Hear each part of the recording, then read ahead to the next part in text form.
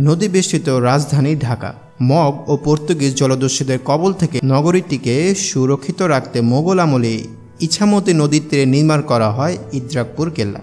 ইছামতি ও মেঘনা সময়স্থলে দুর্গটি তখন সামরিক কারণে গুরুত্বপূর্ণ ছিল। ধারণা করা হয় এটি নির্মাণকাল বাংলার মোঘল সুবাদার মীর জুমলার শাসনকাল। তিনশো পঞ্চাশ বছরের বেশি পুরনো স্থাপনাটি অবস্থান বর্তমান মুন্সীগঞ্জ জেলা সদরে। আসসালামু আলাইকুম। আমি সিদ্দিক রহমান। আশা করি সবাই অনেক ভালো আছে। আজকে অবস্থান করছি ইন্দ্রাকপুর কেল্লা ষোলোশো সালে নির্মিত হয় বাংলার সুবাদার ও সেনাপতি মীর জুমলা এইটা তৈরি করেছিল, শুধুমাত্র তাদের যুদ্ধের জন্য। আর এই কেল্লাটি ইসামতি নদীর পাশে তৈরি হওয়ার কারণে নদীর কেন্দ্রিক যে যুদ্ধগুলো হতো, সেই কারণে তৈরি করা হয় যতটুকু আমরা জানতে পেরেছি। সো আজকে আমরা এই কেল্লায় এসেছি, কেল্লায় ঘুরবো, কেল্লা সম্পর্কে আপনাদের জানাব কেল্লায় কীভাবে আসতে পারবেন সেই বিষয়গুলো বলব। সো চলুন আমরা পুরো কেল্লাটা ঘুরে আপনাদেরকে দেখি। কালে পরিক্রমায় এই ইছামতির গতিপথ পাল্টে গেছে। ষোলোশো সালে বিক্রমপুর বা মুন্সীগঞ্জের এই অঞ্চলে মোঘল সম্রাট আওরঙ্গজেবের আমলে সেনাপতি ও বাংলার সুবেদার মীর জুমলা কর্তৃক ইদ্রাকপুর কেল্লা নামে এই দুর্গটি নির্মিত হয়। এই দুর্গটি মগ জলদস্যু ও পর্তুগিজদের আক্রমণ হতে এলাকাকে রক্ষা করার জন্য নির্মাণ করা হয়। মুন্সীগঞ্জ শহরে প্রাণ কেন্দ্র ইদ্রাকপুর কেলা অবস্থিত। জনশ্রুতি আছে, এই দুর্গের সাথে ঢাকা লালবাগ দুর্গের সুড়ঙ্গ পথ যোগাযোগ ছিল। বহু উচ্চ প্রাচীর বৈশিষ্ট্য এই গোলাকার দুর্গটি স্থানীয়ভাবে এসডি ও কুটির হিসাবেও পরিচিত। আপনারা এখান দিয়ে এসে গেট হচ্ছে ওইখানে। আপনারা গেটে না গিয়ে এখান থেকে এসে সরাসরি এখান থেকে একটা টিকিট নিয়ে নেবেন। টিকিট নিয়ে দেন হচ্ছে সরাসরি গেটে চলে যাবেন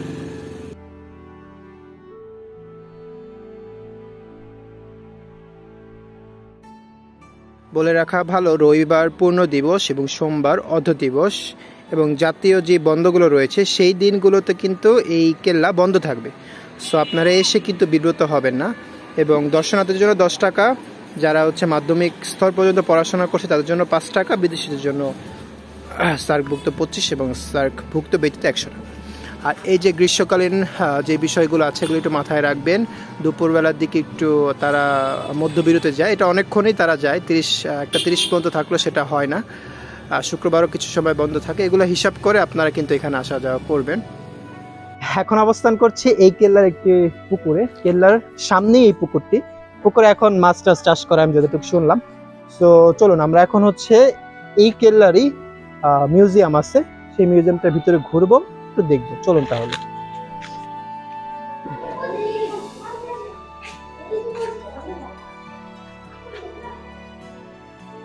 জাদুঘরের ভিতরে সাধারণত ওই ছবি টবি দেওয়া আর কি। আগের কালে যেসব ছবি ছিল, ওই ছবিগুলো, যেগুলো হচ্ছে ওই যে নষ্ট হয়ে গেছে অথবা বলতে পারেন যে কালের বিবর্তনে নাই হয়ে গেছে, সেই ছবিগুলো দেওয়া আর কিছু পুরনো কলসি টলসি দেওয়া আছে। সো এগুলোই দেখতে পারবেন এই মিউজিয়ামে আসলে আর কি।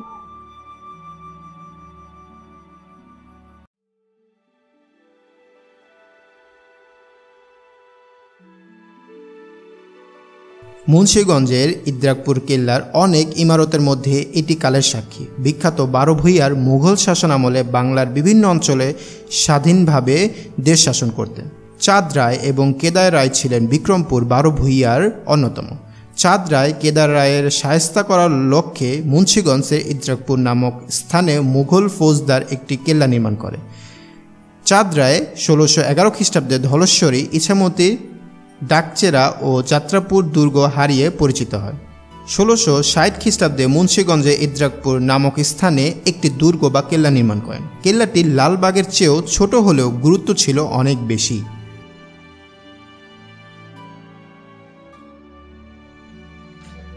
বলা হয়ে থাকে, এই কেল্লার সাথে পুরান ঢাকার কেল্লা, লালবাগ যে কেল্লাটা আছে, ওইটার সাথে একটা সুড়ঙ্গ এখানে কানেক্টেড করা আছে। এটা আমি এর আগেও শুনেছি, আপনারা হয়তো বা জেনে থাকবেন যে লালবাগে একটা সুড়ঙ্গ আছে যেটা কিন্তু বন্ধ করা, আর এই সুড়ঙ্গের সাথে নাকি লালবাগের ওই সুড়ঙ্গের একটা কানেকশন ছিল, যেটা কিনা ইছামতের নিচ দিয়ে, ইছামতের নদীর ভিতর দিয়ে এই কেল্লাটির একটা মানে কি জানি সুড়ঙ্গ ছিল। এটা আমি জেনেছি লোকে মুখেও শুনেছি এবং অনেকগুলো ব্লগ পোস্ট পরেও আমি জানতে পারলাম। আমি জানি না কতটুকু সত্য এটা এটা হতে পারে। কারণ ওইখানে, ওই সময়কার সুবাদাররা এই জিনিসগুলো করতে যে তাদেরকে কেউ অ্যাটাক করলে যেন কোনোভাবে এই কেল্লা থেকে বের হয়ে বেঁচে যেতে পারে। হতে পারে সেই জিনিসটা। কিন্তু এখন পর্যন্ত আমি এই কেল্লার ওই সুরঙ্গটা খুঁজে পাই নাই। যদি আমি সুরঙ্গটা খুঁজে পাই, আমি ভিডিওর মাধ্যমে আপনাদেরকে দেখানোর চেষ্টা করব। চলেন, এবার আমরা তাহলে মেন কেল্লা যেটা আছে, ওইটা আমরা ঘুরে আসি।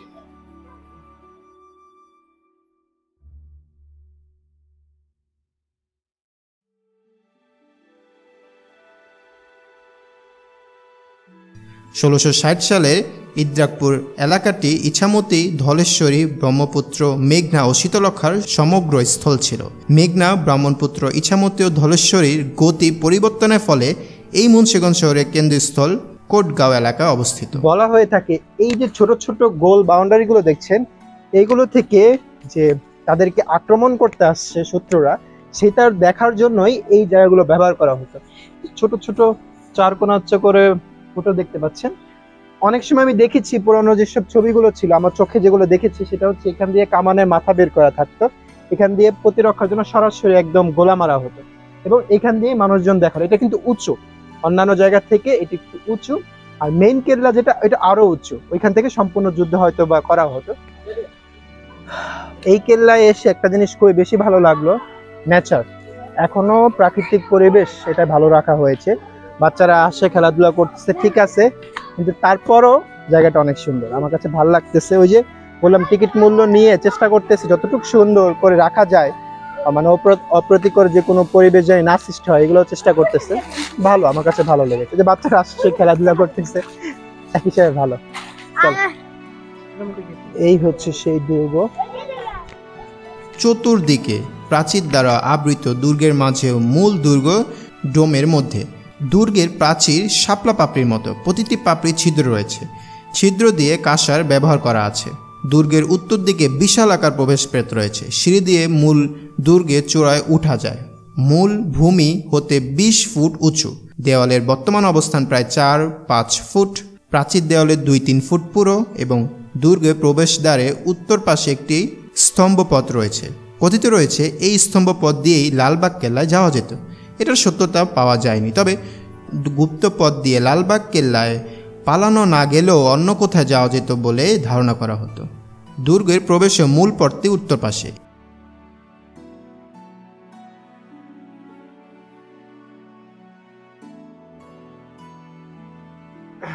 আপনাদের কিছুক্ষণ আগেই বলেছিলাম, লালবাগ দুর্গের সাথে একটা কানেকশন ছিল। সেটা এই রাস্তাটা উপর দিয়ে নামতে হয়। তো আমরা এখন হচ্ছে একটু ভিতরের দিকে যাব। চলেন তাহলে, ঘুরে আসি ভিতর চলো, বাবুরা।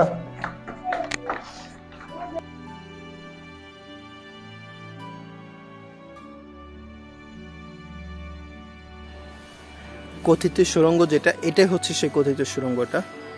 এখান দিয়ে নাকি যাওয়া হতো, কিন্তু এখন এটা বন্ধ করে দেওয়া হয়েছে, মাটি ফেলে, পানিও জমে গেছে। এখন আর ওইটা ওইভাবে কার্যকরী বলে কিছু নেই বাট লোকমুখে যেহেতু কথা আছে, এটাই হচ্ছে সেই সুড়ঙ্গটা। যেভাবে যাবেন মুন্সীগঞ্জ, ইদ্রাকপুর, কেল্লায়। ঢাকার যে কোনো প্রান্ত গুলিস্তানে এসে গুলিস্তান থেকে মুক্তারপুরগামী বাসে চড়ে বসুন। মুক্তারপুর ব্রিজ পার করে নাবার পর ওইখান থেকে অটোরিকশা নিতে পারেন। জনপ্রতি দশ টাকা নিতে পারে আর অটোরিকশা না পেলে রিক্সা যোগে যেতে পারেন। রিক্সা তিরিশ থেকে চল্লিশ টাকা নিতে পারে। খুব সহজভাবে পৌঁছে যেতে পারবেন। ইদ্রাকপুর কেল্লা নিয়ন্ত্রণে যেসব পাদাদি বাহিনী ছিল, তার প্রধান ছিল সদলি খান। একসময় ইদ্রাকপুর দুর্গে মহকুমা প্রশাসনের বাসভবন আঠারোশো পঁয়তাল্লিশ থেকে উনিশশো চুরাশি ছিল। দুর্গর সামনেই এই যে একটা খোলা জলাশয়ের মতো, এখানে এখনও মানুষজন কিন্তু কাজ করতেছে, তাদের নিত্য প্রয়োজনীয় কাজটা সারতেছে। এই জিনিসগুলো দেখলে খুবই কষ্ট লাগে। আমি সবসময় বলি, এই যে রায়হান মারিয়া, সুস্মিতা, এগুলো কি? এরকম একটা ঐতিহ্যবাহী জায়গায় এগুলো লিখে দেওয়া খুব দরকারি কিছু? এগুলো দয়া করে আপনারা কখনোই করবেন না এইসব জায়গায় আসলে। ঐতিহ্যবাহী জায়গাগুলোতে আপনারা এসে এইসব লেখে ঐতিহ্যগুলো নষ্ট করবেন অনুরোধ রইল আপনাদের কাছে। সো কেল্লা থেকে আমি আজকে বিদায় নিচ্ছি। দেখা হবে আবার অন্য কোনো ভিডিওতে। এরকম ঐতিহ্যবাহী কোনো স্থানে যদি আসতে পারি, অবশ্যই আসব এবং আপনাদেরকে এই এরিয়ার ভিউগুলো দেখানোর চেষ্টা করব। তো আমি আজকে মুন্সিগঞ্জ থেকে বিদায় নিচ্ছি। আবার কখনো হয়তো বা আসা হবে এরকম ঐতিহ্যবাহী কোনো স্থান নিয়ে। আর লালবাগ কেল্লার একটা ভিডিও আছে, সেটা আপনারা দেখতে পারেন। সো দেখাবে অন্য কোনো ভিডিও আজকে এই পর্যন্তই। অনেক বেশি ভালো থাকবেন। আল্লাহ